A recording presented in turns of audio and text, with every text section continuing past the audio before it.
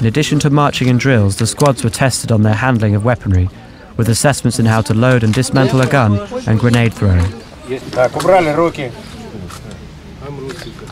Так, опустили. Поднялись. Марш!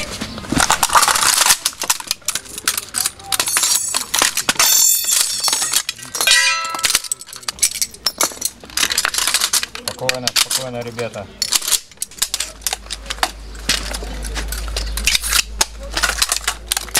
Мне больше нравится. Мне стрельба. И мне стрельба. А вы уже стреляли? Да, конечно. Так? Да. Из настоящего автомата? Автомата Нет, нет, воздушки. Нет, папа давал с автомата стрелять. Да? Да, у меня папа охотник, поэтому давал. Он с автоматом охотится? Ну, у него есть как и автомат, так и охотничье ружье. Ну, давал стрелять с автомата. Давай, работай, работай, давай. Всё, нормально, давай, давай, давай, давай, давай, давай, давай, хорошо, умничка. Вот этим взводишь, резко отпустил.